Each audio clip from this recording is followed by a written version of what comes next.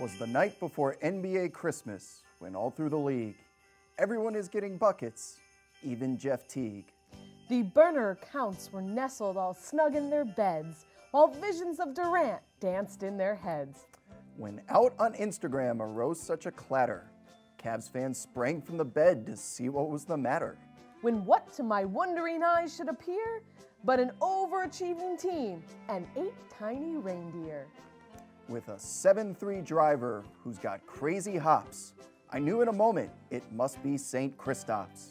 Porzingis is thirsty, pass him the ball. Slide in his DMs, slide away, slide away, slide away all. James Harden spoke not a word but went straight to his work, crossing over fools, then turned with a jerk. Harden sprang to his sleigh. To CP3 he gave a whistle. Away they flew to the West Finals like the down of a thistle. But I heard him exclaim ere he drove out of sight LeBron, I'm the MVP, and to all a good night.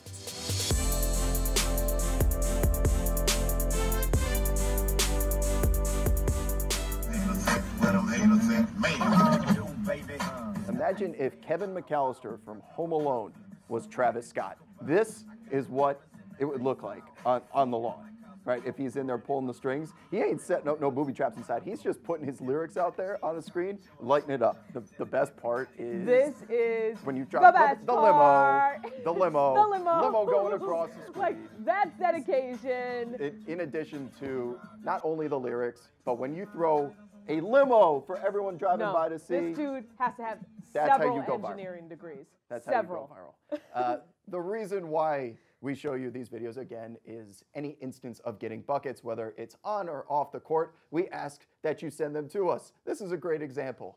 Buckets is not just a basketball culture, it is a lifestyle. He's Rob, I'm Cassidy, and this is our very special holiday edition of Buckets. And later on, uh, we look back on a Joe, Joe, Joe merry year of Embiid trolling. Plus, Hmm. Rob has a foolproof plan on how to watch the Christmas Day games without your family and Without friends. Without getting caught. Yes. It's the hardest part. Yelling at It's. Christmas. Uh, but speaking of that five game slate, we wrote out our Christmas list uh, for those games. So let's check it.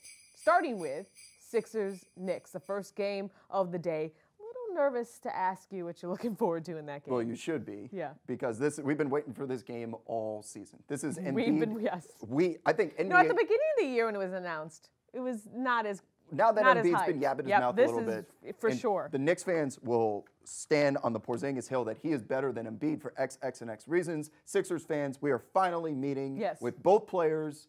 I think they're going to be healthy enough, you know, to play. You know what I want for Christmas? I want Kristaps Porzingis to dunk on Joel Embiid. I want his Embiid's body to lay flat on the paint. I want Jen Selter to be sitting courtside. I want Selter to still alive, by the way. Still alive. Yes. I still want. I want Selter to come out, Yes. take a selfie on top of M- Embiid's corpse on the floor right Jeez, now. this is morbid. Yes? Hashtag trust the Porzingis. Yes. and then go back to her seat. Selfie on top of his body. That's what I want That's for Christmas. visual. That's what I want for Christmas. I'm sorry. Okay, that's, I mean, fine. Santa, are you listening? Hopefully. Next up, Cavs Warriors, finals Mm, marquee rematch, game.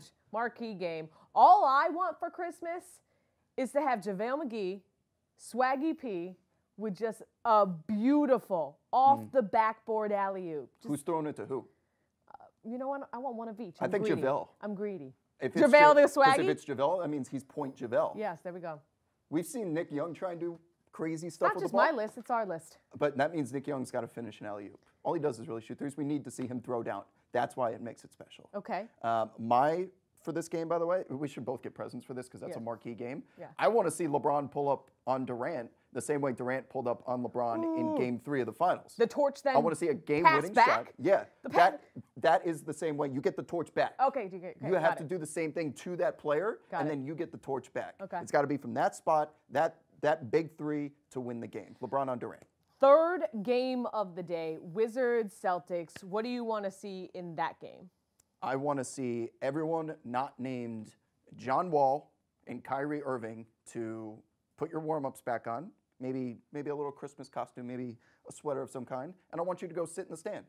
I don't want you don't play basketball. Let Kyrie Irving and John Wall play one-on-one for 48 minutes. Hmm. It's the matchup that Yes. we have always wanted. They've always been like either injured or Yeah. suspended or not playing. Who's the true point guard? we on national television, the Wizards and Celtics have not liked each other for years. This is the opportunity to get the one-on-one entire world watching game that we deserve. Okay, the must-watch game of the day: Which one? Which Rockets one? Thunder. Why is that? Are you a little biased? I'll be Why is that? I'll be on the sidelines for Oh, that game. Oh, that's why. So I'm just saying, can you help a girl out? Just add a more, couple more ticks on that rating, though. All I'm saying. All I want for Christmas. That, and I don't, I, I, I don't want you guys to catch me making um, crazy faces. I was about again. to say, all I Uh, want for Christmas is the people keep gifting you. You have like a very gifable, I not make only a lot face of but faces. personality. I talk with my hands. I make a lot of faces. I'm thinking things through you in my head. You throw shade without yeah. throwing shade. It's like, yeah, you do it naturally, which is why people gift you throwing I'm shade all the time. I'm. You're I'm gift. Oh, gifted. There's no way you just thought of that. I did. Okay, See? it was natural. Gifted. Okay. Uh, last but not least, the nightcap. Yes. T Wolves Lakers. Uh, this is real simple for me.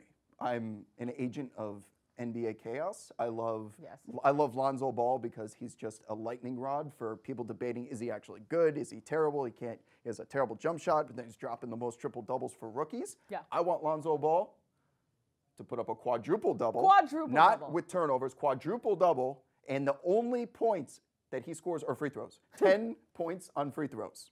Do you agree? Um, Im- Imagine if Lonzo Ball Sure. dropped a quadruple double. I mean, we're gonna be kind of faded by. Oh, not me, because I would just be coming off work. But most people are gonna be faded by that time in the day. That would So- lead like CNN and like Fox. If Lonzo Ball had a quadruple double, everyone on earth would be talking Yes. about it. Never lost. But he didn't make a shot. People would actually say that in Yeah. a quadruple double. so and- that's all we want for Christmas. And now, a banger.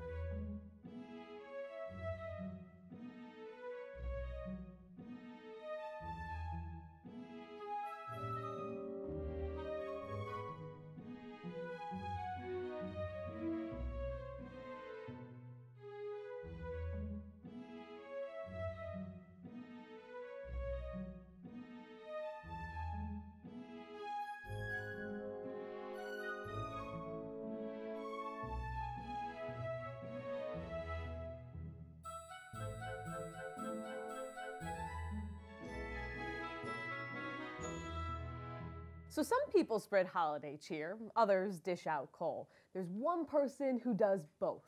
Joel Embiid. JoJo. Yep. Uh, he may be a troll, but he's no Grinch. He's been handing out NBA gifts on social media all year long. So here is a review of a JoJo Joe merry year of trolling, starting with Hassan Whiteside. his number one target. Yeah.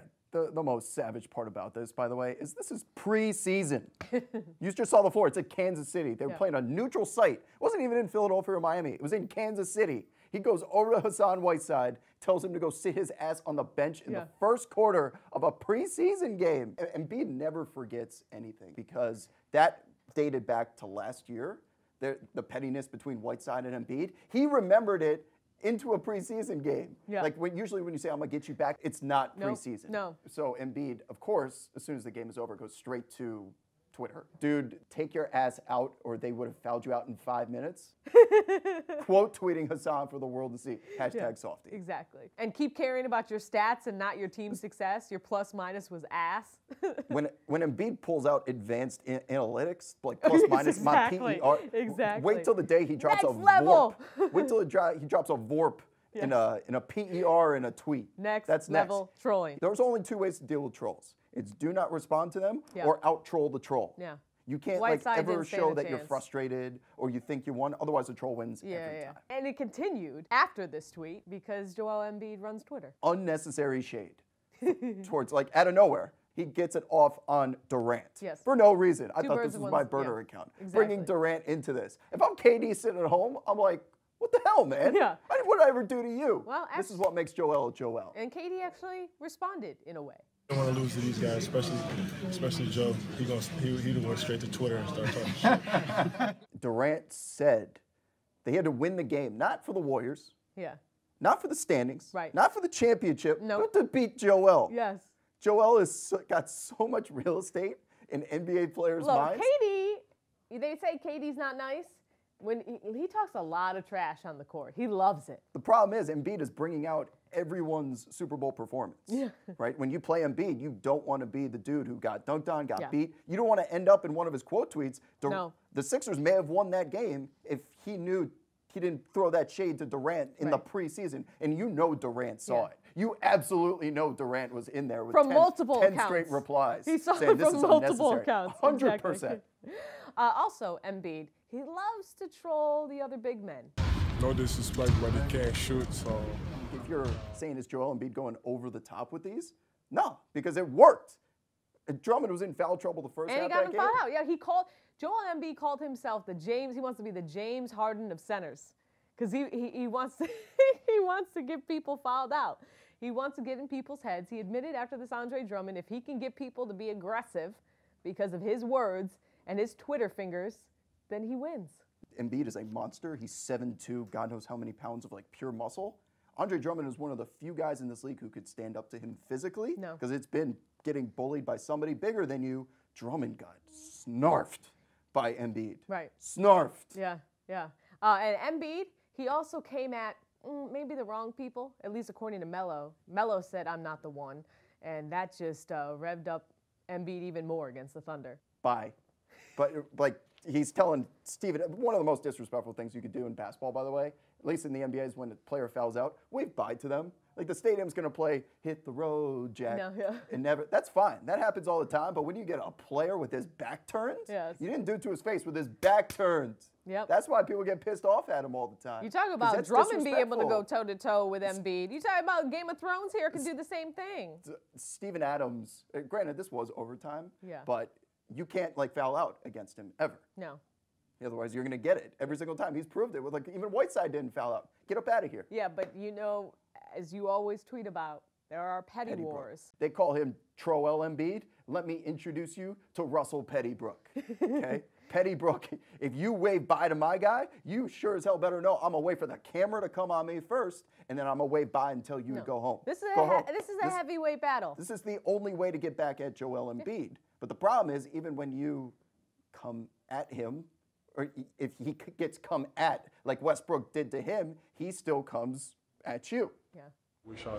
Uh, would have shot 33 times, and uh, I guess we would have, we would have had a better chance of uh, actually winning the game. But you know, he's told me to go home, man. This is my home, man. I ain't going nowhere. So Embiid is talking about if you t- if I got to take 30 shots, I probably would have scored 30 points too. Even when Westbrook gets the upper hand, my man's got to get the spotlight back, And just a little bit. Even when he catches up. This is just the beginning of the season. For most people, Christmas Day is the unofficial start to the NBA season. Not us, but for for, for some people. Right. So what that means is this is just the beginning of a season of trolling for the one and only Joel Embiid.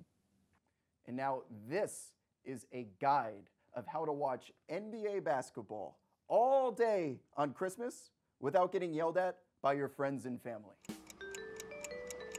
Number one, early ass wake up call. I'm talking like when you were five years old and would break into your parents' rooms, start jumping on their bed, screaming, Santa came, Santa came, get up. Number two, hold it. Number three, open presents between Sixers Knicks and Cavs Golden State. There is a 40 minute window between tip offs. Number four, offer everyone a drink or something to eat from the kitchen while you stream the game on your phone. Number five, it's time to fake a call. Set up a fake call app on your iPhone and time it exactly for the six minute TV timeout in the second quarter. Number six, between Cavs Warriors and Wizards Celtics, this is a great time to go for a walk with everyone. Getting the family and friends out of the house will make them sleepy and want to sit down and watch basketball on TV. Number seven, this is risky, but offer to help clean the dishes. Major brownie points. 75% chance you won't have to, and if you somehow survive this, you are set for the rest of the night. Finally, T Wolves at Lakers. Everyone's going to be passed out by the time this game tips. Enjoy it with a nice nightcap. You earned it. That's going to do it for our holiday edition of Buckets. Uh, hit up the comment section over the new year. We'll be back the first week of January. I wasn't supposed to do this, but I'm feeling petty right now. you do can you can do whatever you want. Can they see the antlers? In We're on Christmas vacation. we are. Yes. I can only get. You can't yell at someone over a Christmas vacation. Yeah. Um, Merry Christmas, everyone. Get buckets or die trying as always, and make sure you stay petty and find a way to watch NBA on Christmas. Use the guide if you have to. It's the Daytona 500 of. It's when NBA season really kicks off. Do your part. Go home. Bye. Bye. Bye. Go home. I do the Westbrook better. Bye.